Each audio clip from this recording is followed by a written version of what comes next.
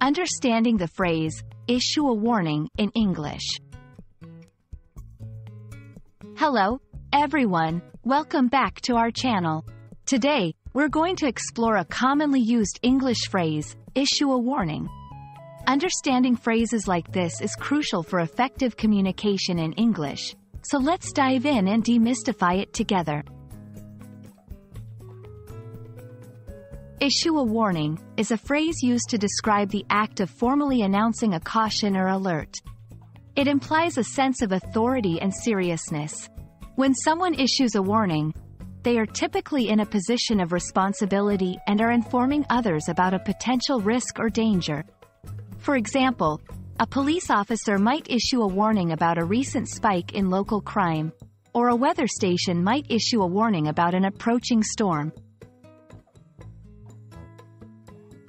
1. In public safety, authorities like police or fire departments issue warnings to keep the public safe.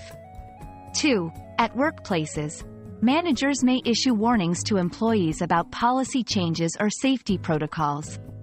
3. In personal relationships, although less formal, parents might issue a warning to their children about behaving properly.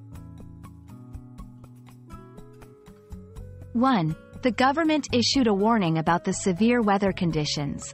2. The teacher issued a warning to the class about the consequences of cheating. 3. After several complaints, the city council issued a warning to the company for noise pollution.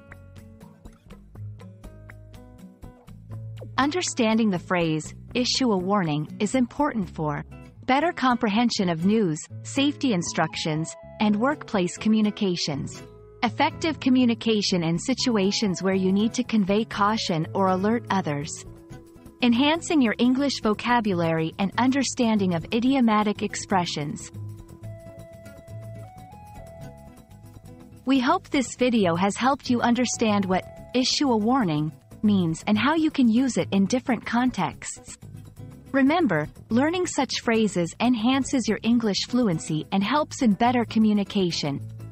If you found this video helpful, don't forget to like, share, and subscribe for more insightful language learning content. Keep practicing, and see you in the next video.